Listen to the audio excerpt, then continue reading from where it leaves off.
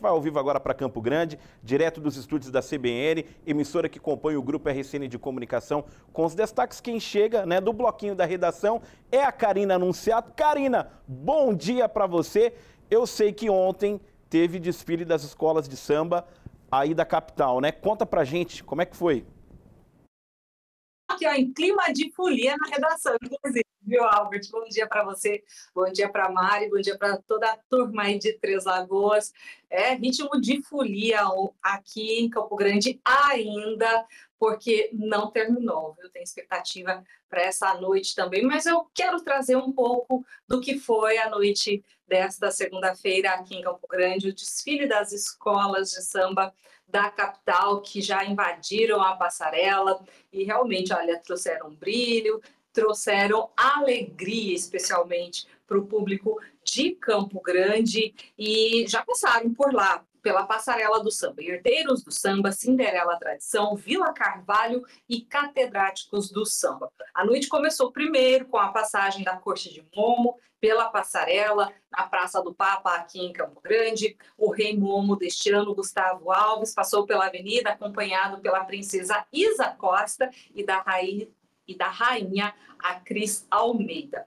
Ainda por aqui, tradicionalmente, a abertura da, do desfile do Carnaval de Campo Grande, ele acontece pela Escola Mirim Herdeiros do Samba, que trouxe o enredo da origem de Chaguinhas, um escravo que foi ficou conhecido por reivindicar os seus direitos e deu origem ao bairro Liberdade, na Grande São Paulo. Na sequência, aí sim, já disputando o título do carnaval deste ano, porque o Herdeiros do Samba é, ele entra com essa tradição de abrir o desfile da escola de samba, mas não participa da disputa do título. Agora sim, na disputa do título, quem abriu a noite foi a Cinderela Tradição, que trouxe como samba enredo a história de Santos Dumont, aeronauta, autodidata e inventor brasileiro, conhecido como pai da aviação. Na avenida, os três carros alegóricos, nove alas e 380 componentes da Cinderela Tradição encantaram o público.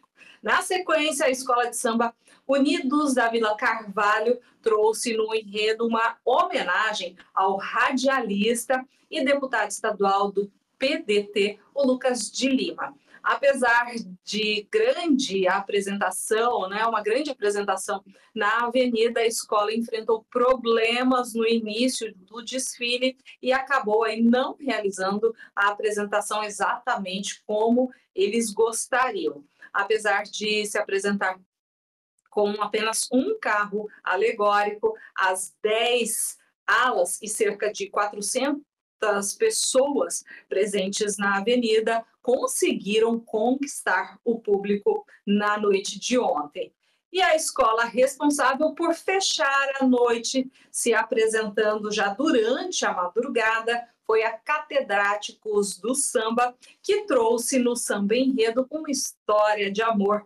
A Catedráticos teve investimento de 180 mil reais este ano para levar para a avenida seis carros alegóricos, sete alas e mais 600 pessoas também passaram pelas alas, desfilando na passarela do samba aqui em Campo Grande. E lembrando que hoje ainda tem mais noite de folia, especialmente no desfile das escolas de samba, que continua hoje com a apresentação das escolas. Deixa falar Igrejinha e Unidos do Cruzeiro, ou seja, o carnaval ainda continua, viu? Tem gente que já está de olho no enterro dos ossos no sábado, mas por aqui ainda tem folia.